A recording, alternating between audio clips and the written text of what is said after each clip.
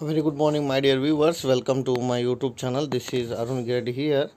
In today's class, we would like to continue the financial management question paper, Vanishanama University, Belagavi. So, in today's class, we would like to discuss five marks question.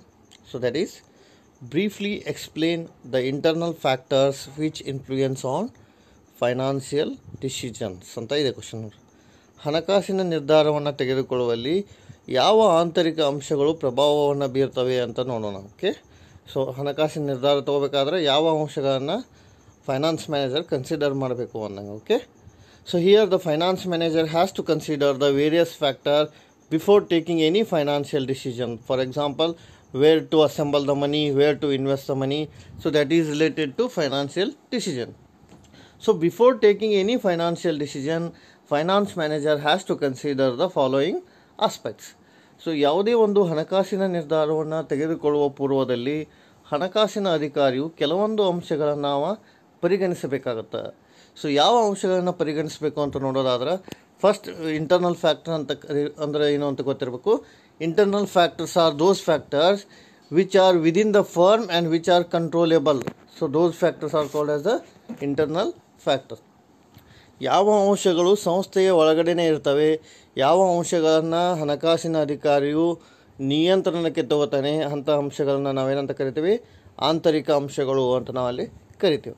So those factors are which is purely controllable so those factors are called as a internal factors ಯಾವುಗಳನ್ನು ನಾವು ಸುಲಭವಾಗಿ ನಿಯಂತ್ರಣಕ್ಕೆ ತಗೋಬೋದು ಅಂಥ ಅಂಶಗಳನ್ನು ನಾವು ಆಂತರಿಕ ಅಂಶಗಳು ಅಂತ ಕರಿತೀವಿ.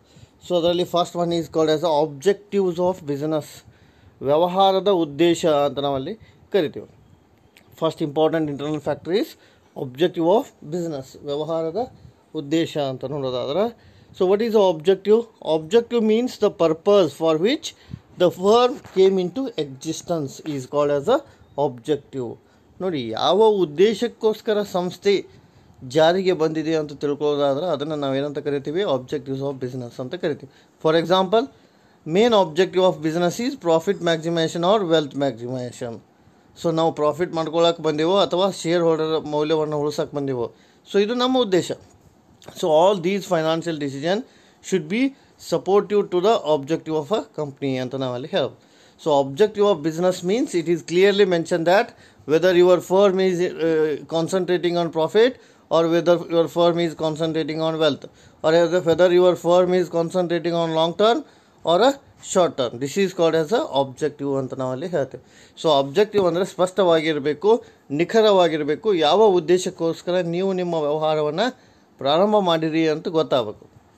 ಒಂದು ವೇಳೆ ಕಡಿಮೆ ಅವಧಿಗೆ ಲಾಭ ಮಾಡ್ಕೊಳ್ಳೋ ಸಲುವಾಗಿರೋ ಅಥವಾ ದೀರ್ಘಾವಧಿಗೆ ಮಾಡೋಕ್ಕಾಗಿರೋ ಅಥವಾ ನೀವು ಲಾಭವನ್ನು ಮಾಡ್ಕೊಳ್ಳೋಕ್ಕಾಗಿರೋ ಅಥವಾ ಷೇರುದಾರರ ಮೌಲ್ಯವನ್ನು ಉಳಿಸೋಕ್ಕಾಗಿರೋ ಸೊ ಈ ರೀತಿ ಸ್ಪೆಸಿಫಿಕ್ ಆಗಿ ಮೆನ್ಷನ್ ಮಾಡಬೇಕು.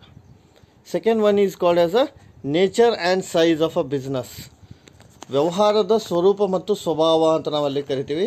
Nature and size of a business. Here the finance manager has to consider nature and size of a business before taking any decision. For example seasonal or business require more working capital during season ಅಂದ್ರೆ ಏನು ರೀ ಒಬ್ಬ ಹಣಕಾಸಿನ ಅಧಿಕಾರಿಯು so ವ್ಯವಹಾರದ ಸ್ವರೂಪ ಮತ್ತು ಗಾತ್ರದ ಆಧಾರದ ಮೇಲೆ ನಿರ್ಧಾರವನ್ನು ತೆಗೆದುಕೊಳ್ಬೇಕಾಗತ್ತೆ.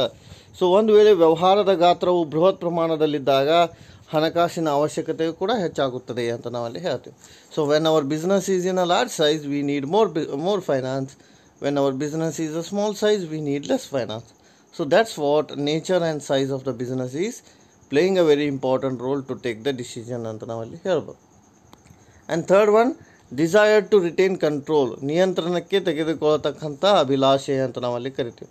So what is a desire to retain control if the firm want to retain the control in the hand of only few equity share holder then it has to got preference share debenture and other long term debt okay ಅಂದರೆ ನಾವು ನಿಯಂತ್ರಣವನ್ನು ಇಟ್ಕೋಬೇಕಾದ್ರೆ ಫಾರ್ಮ್ನಲ್ಲಿ so firm ಎಲ್ಲ ಸೋರ್ಸನ್ನು consider ಮಾಡಬೇಕು. For example ಡಿವೆಂಚರನ್ನು consider ಮಾಡಬೇಕು ಶೇರನ್ನು ಕನ್ಸಿಡರ್ ಮಾಡಬೇಕು, ಅದರಲ್ಲಿ ಪ್ರಿಫ್ ಪ್ರಿಫರೆನ್ಸ್ ಶೇರ್ ಮತ್ತು ಇಕ್ವಿಟಿ ಶೇರ್ ಸೊ ಈ ರೀತಿ ಎಲ್ಲ ಶೇರ್ಗಳನ್ನು ನಾವು ಕಂಟ್ರೋಲ್ ಮಾಡಿದಾಗ ಏನಾಗುತ್ತೆ ರೀ?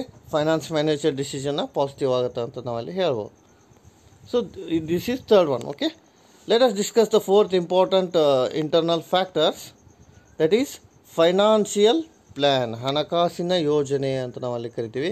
So what is the financial plan no let us discuss. Every firm has got its own financial plan. It contain total amount of fund needed. Source to be tapped to obtain the fund ಅಂತ ನಾವಲ್ಲಿ ಹೇಳ್ತೇವೆ. So ಪ್ರತಿಯೊಂದು ಸಂಸ್ಥೆಯು ತನ್ನದೇ ಆದಂಥ ಹಣಕಾಸಿನ ಯೋಜನೆಯನ್ನು ಹೊಂದಿರುತ್ತೆ. ಹಾಗೂ ಇದು ಒಟ್ಟು ಹಣವನ್ನು ಹೊಂದಿರುತ್ತೆ. ಫಂಡ್ ನೀಡೆಡ್ ಟೋಟಲ್ ಅಂತ ನಾವಲ್ಲಿ ಕರಿತೀವಿ. Here the pattern of investment building resource and distribution of dividend means where to invest the money how much fund to invest the money so that is all consider in financial plan ಹಣಕಾಸಿನ ಯೋಜನೆ ಅಂತಂದ್ರೆ so ಯಾವ ಹಣಕಾಸನ್ನು ಎಲ್ಲಿ ನೀಡಿಕೆ ಮಾಡಬೇಕು, ಯಾವ ಪ್ರಮಾಣದಲ್ಲಿ ನೀಡಿಕೆ ಮಾಡಬೇಕು, ಯಾವ ಸಂಪನ್ಮೂಲದಿಂದ ನೀಡಿಕೆ ಮಾಡಬೇಕು, ಲಾಭಾಂಶವನ್ನು ಎಷ್ಟು ನೀಡಿಕೆ ಮಾಡಬೇಕು. ಸೊ ಇವೆಲ್ಲ ಎದುರು ಬರ್ತಾವೆ, ಹಣಕಾಸಿನ ಯೋಜನೆಗಳು ಬರ್ತಾವೆ.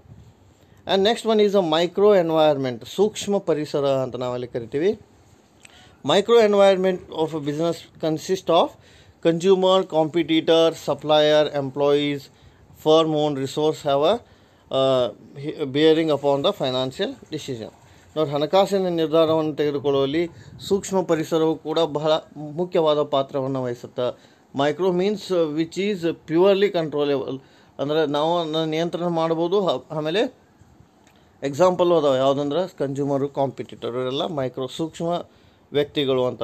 Means business has to consider these people very keen ಅಂತ. ಇವಾಗ ಇವರನ್ನು ವ್ಯವಹಾರವು ಸರಿಯಾಗಿ ನೋಡ್ಕೋಬೇಕು, ಹಣಕಾಸಿನ ಅಧಿಕಾರಿ ಇವು ಇವರ, ಇವುಗಳ ಮೇಲೆ ಸ್ಪಷ್ಟವಾದ ನಿಯಂತ್ರಣವನ್ನು ಹೊಂದಿರಬೇಕು. Next management policy six one is called as a management policy ನಿರ್ವಹಣಾ ನೀತಿ ಅಂತ ನಾವಲ್ಲಿ ಕರಿತೀವಿ. So what is a management policy it is also internal factor Management means getting things done through the efforts of others, and it is the responsibility of a owner of a business to get the things done from others. Here, all the policies or guidelines uh, has to take the financial manager, which is linked with finance ಅಂತ ನೋಡಿರಿ ಹಣಕಾಸಿಗೆ ಸಂಬಂಧಪಟ್ಟಂಥ ಪ್ರಮುಖ ನಿರ್ಧಾರವನ್ನು ಪ್ರಮುಖವಾದ ನಿಯಮಗಳನ್ನು, so ಇವೆಲ್ಲವುಗಳನ್ನು ತೆಗೆದುಕೊಳ್ಳತಕ್ಕಂಥ ನಿರ್ಧಾರ ನಿರ್ವಹಣೆಯ ಮೇಲೆ ಆಧಾರಿತವಾಗಿರುತ್ತದೆ ಅಂತ. ಸೊ ಹಾಗಾಗಿ ಇಲ್ಲಿ ವ್ಯವಹಾರದ ಮಾಲೀಕನು ನಿರ್ವಹಣೆಗೆ ಸಂಬಂಧಪಟ್ಟಂತೆ ಪ್ರತಿಯೊಂದು ಜವಾಬ್ದಾರಿಯನ್ನು ಅಥವಾ ನಿರ್ಧಾರವನ್ನು ತೆಗೆದುಕೋತಾನೆ ಅಂತ ಹೇಳ್ಬೋದು. So management policy is keen and control by the finance manager ಅಂದರೆ ಏನು ಹೇಳ್ತಾರೆ ಅವರು? Finance manager has to consider the important information related to management ಅಂತ. Next one is internal organisation ಆಂತರಿಕ ಸಂಘಟನೆ ಅಂತ ನಾವಲ್ಲಿ ಕರಿತೀವಿ. What is the internal organization? It is a systematic arrangement of carrying on day to day activity in simple words creating various department in various department okay in each department uh, uh, ಅಂತ ನಾವಲ್ಲಿ ಹೇಳ್ಬೋದು. So ಪ್ರತಿಯೊಂದು ವಿಭಾಗದಲ್ಲಿ ನಾವು ವ್ಯವಹಾರವನ್ನು ಪರಿಣಾಮಕಾರಿಯಾಗಿ ಅಳವಡಿಸಬೇಕು ಅಂತ. ಸೊ ನಾವು ದಿನನಿತ್ಯ ಚಟುವಟಿಕೆಗಳಲ್ಲಿ ವಿವಿಧ ವಿಭಾಗಗಳಿಗೆ ಸಂಬಂಧಪಟ್ಟಂತೆ ಆಂತರಿಕ ಸಂಘಟನೆಯನ್ನು ನಾವು ಪರಿಣಾಮಕಾರಿಯಾಗಿ ಮಾಡಬೇಕು.